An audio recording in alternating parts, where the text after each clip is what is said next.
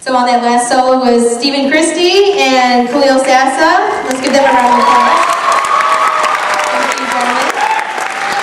And um, we have the amazing privilege of, actually I have the amazing privilege of introducing to you um, Mr. Jay Johnson. He's student teaching with us from Northwestern University. And he's been, yes.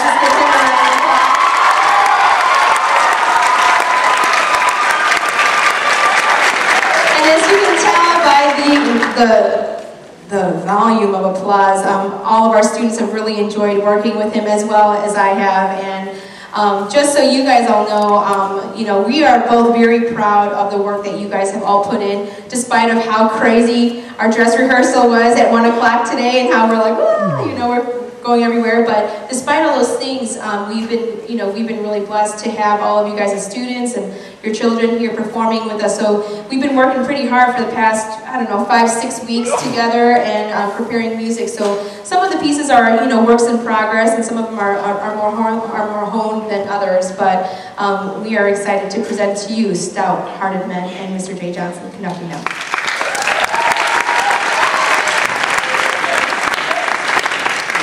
Um, our head voice soloist for today will be Mr. Daniel Bedoya.